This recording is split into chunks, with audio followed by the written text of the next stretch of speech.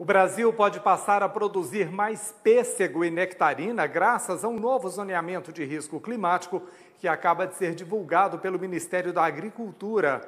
O estudo feito pela Embrapa Clima Temperado do Rio Grande do Sul e a Embrapa Informática Agropecuária de São Paulo amplia as áreas de produção dessas frutas que são consideradas muito nobres aqui no Brasil. E esse zoneamento identificou três regiões elevadas que podem passar a cultivar as frutas. A gente vai falar agora ao vivo sobre essas regiões e o potencial produtivo delas na nossa conversa com Carlos Reisser Júnior. Ele é pesquisador da Embrapa Agricultura Temperada. E, Carlos, seja muito bem-vindo, viu? Aqui é o AgroMais. Muito bom ter você aqui com a gente. Eu que agradeço. É sempre um prazer participar do programa com vocês para falar um pouco sobre as novidades da nossa agricultura brasileira. E muito dessas novidades fruto de pesquisa e de trabalho de vocês, né, Carlos? E aí eu queria que você falasse para a gente quais são essas regiões que têm potencial para a produção dessas frutas, não é? Pêssego e nectarina, e como vocês perceberam o potencial dessas regiões? É, bem, é, nós, esse ano, fomos, fomos solicitados pelo Ministério da Agricultura para fazer esse, esse trabalho com, com zoneamento de risco climático, que é uma atualização de um, de um trabalho que já tinha a nível de Brasil, em todo o Brasil. Só que antes cada estado usava uma metodologia. E esse ano, com a, a unificação das metodologias, ou seja, usando uma metodologia para todo o Brasil, é que é, nós fizemos um trabalho com, com as melhores é, condições do Brasil para a produção de pessegueiro, e além das regiões tradicionais, apareceram outras regiões onde a cultura não é tradicionalmente não, não se, tradicionalmente não se cultivam aí. Essas regiões apareceram nos estados de Goiás, é, de, de, no Mato Grosso do Sul, na Bahia, sempre em regiões de altitude. É, uma coisa importante nesse, nessas regiões é que elas são viáveis à produção do pessegueiro, talvez, é, devido é, com a prática de irrigação. Esse nosso trabalho também verificou as regiões onde, com irrigação, será que é possível produzir? Bom, é, isso é um, é um primeiro trabalho que, na verdade, precisa de uma atualização, ou seja, uma verificação, ou seja, produtores ou a própria pesquisa é, levar essa cultura para essas regiões que foram determinadas para ver se realmente existe o potencial de o potencial existe para ver se realmente se consegue produzir nessas regiões. Porque é, as regiões de altitude do Brasil possuem a quantidade de frio necessária para as cultivares que nós criamos aqui no sul. Só que a gente não sabe que as condições de temperatura elevada ao longo do dia, a gente sabe que essas regiões de altitude têm uma amplitude térmica muito grande, ou seja, noites frias e durante o dia temperaturas elevadas, se elas, essas temperaturas elevadas não vão inviabilizar. Te, é, teoricamente, apareceu que é possível, com irrigação, se utilizar e produzir o pessegueiro nessas regiões. O próximo passo agora da, da pesquisa é levar algumas variedades para essas regiões e ver como é que é a adaptação das diversas cultivares que a gente tem e como é que é a produtividade, se é economicamente viável de se utilizar essas regiões para a produção de pessegueiro e nectarineira. E sendo economicamente viável, isso pode aumentar em quanto é a produtividade dessas frutas aqui no Brasil? São frutos nobres, né? E que podem gerar um bom impacto econômico para os produtores, não é isso? Exatamente, o pessegueiro é uma ótima, é uma ótica oportunidade de, de, de geração de renda dentro da propriedade, é, principalmente a fruta in natura. Muitas vezes a, a, a disponibilidade em algumas regiões dessas culturas, clima, dessas cultu espécies de clima temperado é um pouco difícil de chegar em algumas regiões, principalmente do centro-oeste para cima do Brasil, porque são plantas, é, são frutas um pouco difíceis de, de, de, de, de se levar, de se transportar, porque precisa todo de uma, de uma estrutura importante. Então, é, se nós conseguirmos produzir essa fruta mais próximo de regiões com potencial de produção, como é o Distrito Federal, Brasília, por exemplo, são regiões de alto poder aquisitivo e, e, e, e muito importante a, a, a, o consumo desse tipo de fruta, pode ser que seja uma grande oportunidade para os produtores mais próximos ter uma geração de recursos dentro da sua propriedade muito importante. A gente vê como possível, agora a gente tem que testar para ver se realmente se consegue produzir. Nós temos regiões em São Paulo e no Espírito Santo que já cultivam o pêssego de mesa, né? são regiões com, com condições similares, ou seja, com amplitude térmica grande, ou seja, noites frias e, e, e durante o dia quente, e que se produz pêssego de uma ótima qualidade, com produtividades, inclusive maiores que algumas regiões aqui do sul do Brasil.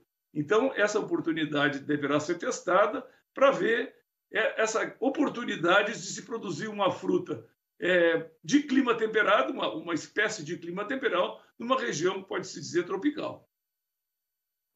Eu queria, Carlos, que você falasse para a gente, porque imagino que muita, muitos dos nossos assinantes dessas regiões ficaram interessados, é, que você falasse para a gente quais são os cuidados, quais as medidas que esses produtores de terra interessados devem adotar, que cuidados observar caso queiram começar a, a produzir essas frutas.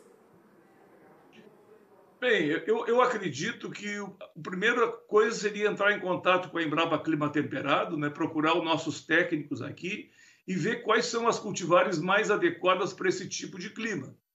O segundo passo seria a encomenda de algumas é, mudas né, dessas espécies. Elas demoram três anos para ou dois anos e meio para iniciar a sua produção e testar na sua, na, na sua localidade.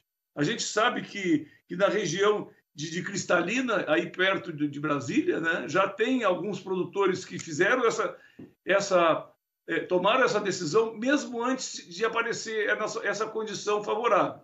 Então, provavelmente, no ano que vem, talvez até nesse próxima safra, a gente já tenha como dar alguma dica para alguns produtores de como é que foi esses pioneiros dessa região na tentativa de produzir pêssego.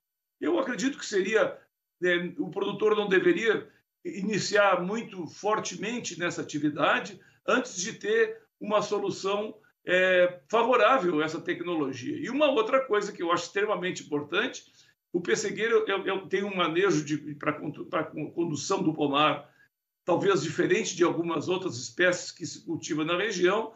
Haver um treinamento, é, é importante que com essa introdução do pomar e, acompanhamento técnico e entrar em contato com as regiões mais tradicionalmente produtoras, que se treine mão de obra que é uma cultura que é demandante de mão de obra. Então, eu acredito que esses passos seriam os mais importantes: testar algumas cultivares, comprar, introduzi-las na região e acompanhar os dois primeiros anos para ver e aproveitar esse período para treinar mão de obra para que se tenha sucesso na, produ na produção e tenha uma ótima produtividade e uma boa rentabilidade.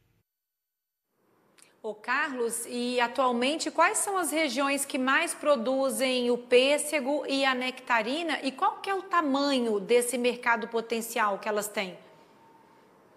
Olha, o, o Brasil ainda é importador de fruta in natura. É, o Chile é um dos grandes fornecedores, até a Espanha fornece frutas para nós. Eu não saberia te dizer exatamente o valor. A gente sabe que fruta in natura nesse nosso Brasil o mercado é muito grande, porque praticamente quem consome essa fruta praticamente é a região é, sudeste e sul, porque é muito difícil e caro levar essa fruta para outras regiões é, de consumo do Brasil.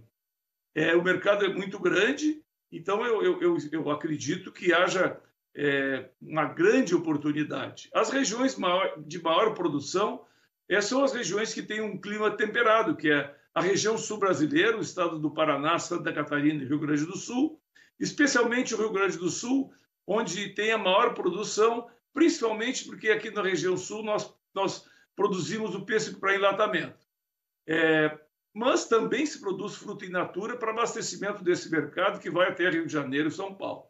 É, o Paraná não é tanto, mas outra região muito importante que abastece Rio de Janeiro e a cidade de São Paulo e o estado de São Paulo de maneira gerais, de maneira geral, é uma região de altitude do estado de São Paulo e de Minas Gerais que fornece a fruta de uma excelente qualidade. Inclusive, uma, nós noticiamos há pouco tempo uma coisa que parecia até muito, muito longe da possibilidade, uma coisa quase impossível, é o Brasil exportar fruta de qualidade para fora do Brasil. Ou seja, existe um mercado é, que foi aberto no, no Canadá e na França, que são países normalmente produtores de pêssego, só que nós produzimos pêssego numa noutra época que eles não produzem. A gente, pelo que se sabe, esse pessoal de São Paulo produziu essa fruta e conseguiu fazer a, a exportação de maneira muito positiva e a nossa fruta foi extremamente bem aceita nesses países. É claro que precisa toda uma logística e toda uma experiência para se trabalhar nisso aí. Não é de um ano para o outro que se consegue fazer uma atividade como essa. Mas, de qualquer, qualquer forma, é importante salientar que existe a possibilidade. E existindo essa possibilidade de produzir uma fruta de qualidade aqui e exportá-la, isso aí é, é, praticamente deixa o nosso mercado é, com tamanho imensurável. Ou seja, nós podemos produzir fruta é, para o mundo todo, teoricamente, principalmente para o hemisfério norte. Muito bem, conversamos aqui com Carlos Reiser Júnior, pesquisador da Embrapa Clima Temperado. Carlos, muito obrigado pela entrevista, obrigado pelas informações. Tendo novidade, volta aqui para contar para a gente. Muito obrigada. Nós estamos às ordens, é sempre um prazer conversar com vocês e nós temos o maior interesse em divulgar essas notícias no Brasil todo para já parceria, né? normalmente formar novas parcerias para tentar ter, fazer uma terminação nesse trabalho que está recém começando. Muito obrigado, um bom, bom dia de trabalho para todo mundo.